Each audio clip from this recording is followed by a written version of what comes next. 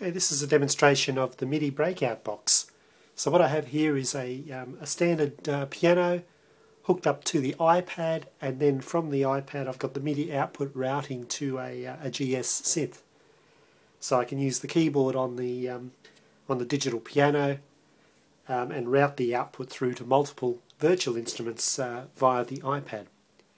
So to start with I've got nothing turned on on the iPad and the standard piano sound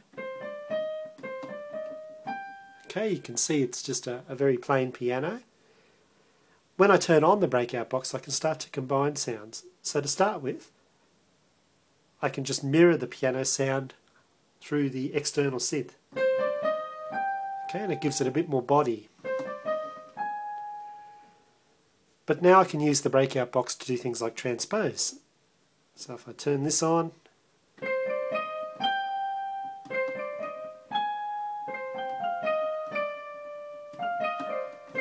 Okay, you can see that's now added a two octave um, uh, piano behind what I'm playing in real time.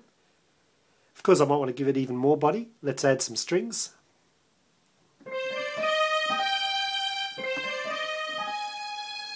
Because I can change the uh, mix, change the volume back so the strings aren't so prominent.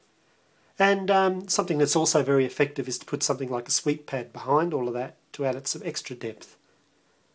Okay, and when I do that,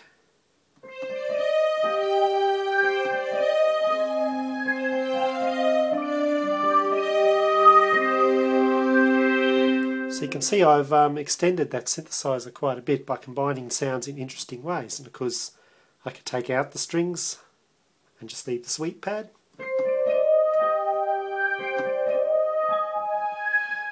Um, take the volume back of that.